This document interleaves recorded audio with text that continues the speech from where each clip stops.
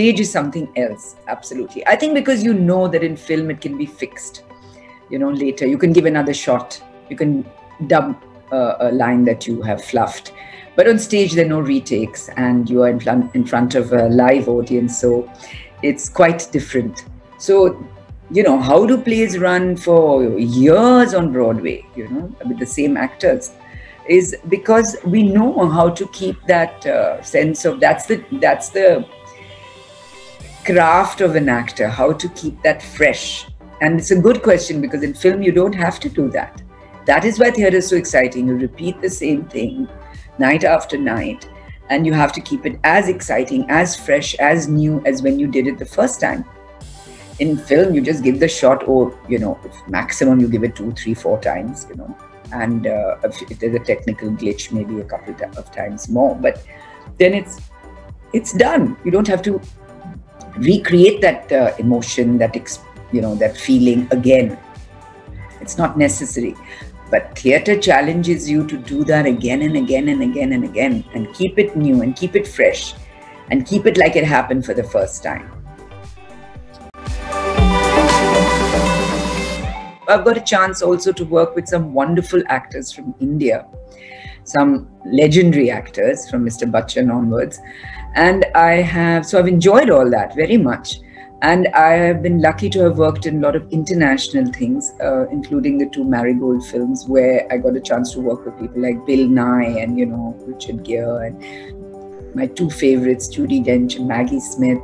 Uh, good acting is good acting anywhere in the world. I've done canadian films i've done south african films. Uh, so you know of course in england work in England, some work in America. One of my films from America is traveling uh, all over and doing very well. It's an independent film.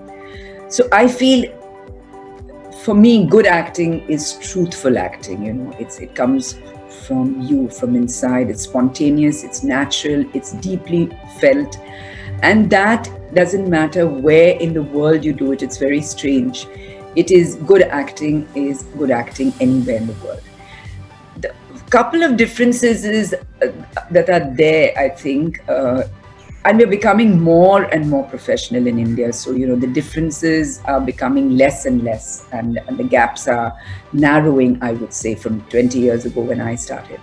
That really 22, 21, 22 years ago, they're becoming very, very uh, only only all the younger people who are directing and producing stuff they are going the very very professional uh, way of uh, of work from abroad. You know how people work abroad.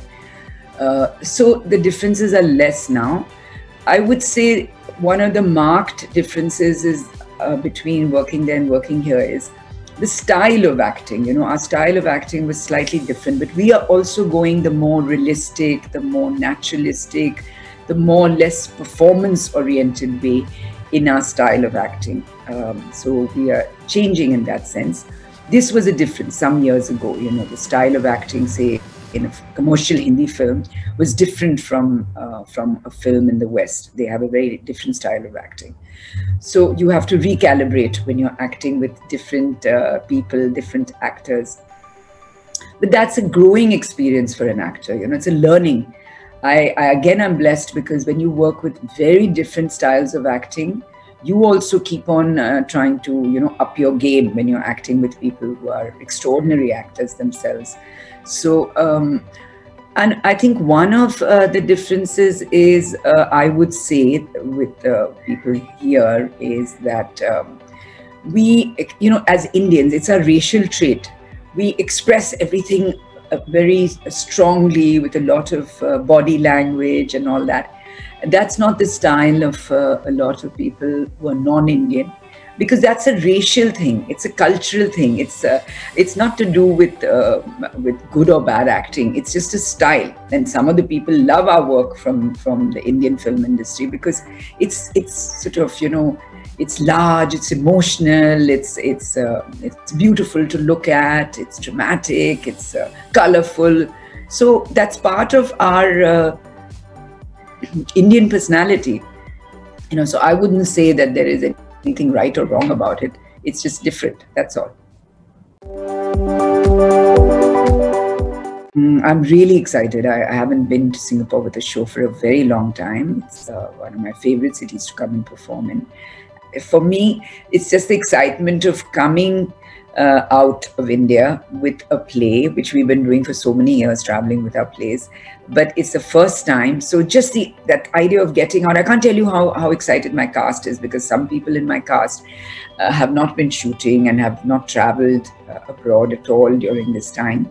So there's so excited to just be out of the country and feel you know it's a, it's a sense of feeling normal again i think that's the most important thing uh, about traveling after the pandemic that we feel oh gosh life has somewhat come back on the rails and you know uh, we're feeling all normal again so that's on a personal level on a professional level i'm just delighted to be coming with a show uh, after so long uh, we haven't been anywhere. This is our first trip abroad after the pandemic with with a play. So uh, it's just very exciting to to be back on stage abroad and bringing a new play. Uh, I'm looking forward to great food, which I always do in Singapore. I'm a I'm a seafood uh, person, and I I love the food in Singapore. Asian as well as seafood, all all there, and uh, we're looking forward to uh, you know just having a lot of fun being together uh, on a trip, which is part of the, the whole theatrical experiences. You know, the cast and crew being together and enjoying. So, of course, I'm sure they're looking forward to some shopping. I'm sure Ira's looking forward to shopping, and uh, just generally having a, a, a nice time. I mean, Singapore is a lovely city. What is there not to enjoy? With NRI audiences, there's hardly any difference because they are whatever it is, they're very much Indian at heart. And, uh, you know, they understand the language, the nuances. For instance, in, say, Dance Like a Man, somebody's talking with a South Indian, slight South Indian accent, slight Gujarati accent. They get all that, you know um, and uh, they totally relate to uh, the vocabulary and you know Indian words that might be used in the play because I told you I'm mostly interested in Indian English uh, writing, so they're all very much uh, plays rooted in in the Indian ethos. For me, it's it's to perform uh, for to perform for NRI audiences is very very similar to performing for Indian audiences. It is performing for non-Indian audiences, NRI or over here in India. That is much more challenging and much more interesting for me because how to see how they react to very Indian material, which is said with um, you know sort of not strong Indian accents, but with sort of Indian accents and sometimes it's slight Indian uh, accents of certain regions. This play would be very interesting. I, I mean, I already had one uh, uh, sort of reaction to it because an English gentleman saw it in Hyderabad. The, the migrant story, all the other stories are in English, but uh, so Ira does two and Joy does two. And Joy's one story is in English, Ira's are in English, mine is in English. But Ira, Joy's second story, the migrant story, is in um, Hindi and, and sort of with a Bhojpuri accent, a Bihari accent. So now to see how a foreigner, uh, non-Indian I mean, would react to that story is very interesting because it's got a lot of physicality and all that, but it is in Hindi. And um, I was very amazed because this particular gentleman in Hyderabad, who, who uh, has obviously seen a lot of theatre in England also, he loved the story. I said, But did you get it? I mean, he said, I don't have to understand everything. I sort of got the gist of it and I love the performance and all that.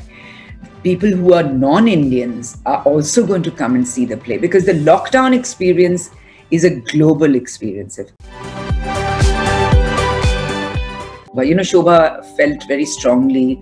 Uh, about many things during the lockdown, and she said that um, she, in a sort of a you know, furious wave, she uh, wrote all these stories. She wrote about 24, 25 stories, and she uh, Simon and Schuster was publishing the book, and since you know everything was under lockdown, she couldn't really have a proper launch, and she asked uh, Ira and I to read these stories as as uh, you know a way to launch the book online so, excuse me, there were two. So, there were two uh, stories. She actually sent us four or five stories, and uh, we went through them. They went through them. The publishers went through them, and uh, we looked at the ones that would be suitable and we found these two stories, which ultimately are part of the play uh, Vodka, and no, Vodka and No Tonic and Lockdown Funeral. So these two stories we read um, as part of the launch of the book online, and they got a terrific response. Both the stories and how we read them, and people started saying, you know, why don't you look at it as a piece uh, for the stage? And I like them very much as well. So that's the germ, that was the germ of the idea. And we started looking at other stories in the book, how to, you know, sort of. Uh, uh, select a very uh, so the idea was for me the idea was to do them as monologues and to do them as a very wide selection of uh, stories very different from each other. So there's a young couple there's a older woman around my age whose husband has died and she's attending his funeral and it's a look back at her life. Uh, she's been estranged from him and you know all that. Then there's a migrant who uh, is in love with a woman here and doesn't want to leave, but he has a family and children back home, and uh, he's a construction worker, and she's also a construction worker. And it's a very poignant, very moving story. New people would relate to it because we've all been through this thing, but I didn't expect this kind of reaction. It's had a it's had a phenomenal uh, reaction. People have really, really enjoyed the play and related to you know story the stories in it. Uh, so it's that's been a, a quite um, wonderful surprise. The idea was to look at stories from the point of view of my lens was the pandemic was a trigger that that changed things for people in their relationships. That was my area of interest. I think to some level it was also Shobhaa's area of interest because you see a, a, a global phenomenon like that you can look at through several lenses. My lens was human relationships. How did it affect human relationships? You know. Uh, so whether it's this young couple, two young, two couples of different kinds, or the migrant, or this older woman, or a young girl who has to leave her job and you know been independent and she's gay and she's independent and she's lived her own life and suddenly no job and has to come back and live with her conservative parents. So how did it affect us in our daily personal sort of intimate lives? You know, an examination of that actually and um, I must say that, and so the stories have different, um, you know, sort of uh, economic backgrounds, cultural backgrounds, uh, different ethoses. It's, you know, it's, it's, it's a wide span of people uh, uh, that it that it looks at. That the first story is kind of at the beginning of the pandemic, 25 days into it. The second story is kind of a few months into it. the third story is I would say a little bit uh, further up because people were allowed to go out, they were allowed to go to parks for a little while and have, you know, a little exercise. And then the fourth story is when the whole massive migrant thing sort of, you know, exploded. The last story is almost 80 days, 90 days into the lockdown. So it is a kind of, a, it is about a period in our life lives. You know, it's not that, uh, uh, I mean, 10 years from now, that is why looking at it, at the pandemic through the lens of relationships will never really date the play because it's not about that. The backdrop is the, the pandemic and the lockdown but how did it affect us as human beings psychologically in our uh, emotionally in our in our lives in our relationships that is what it's an examination of Thank you.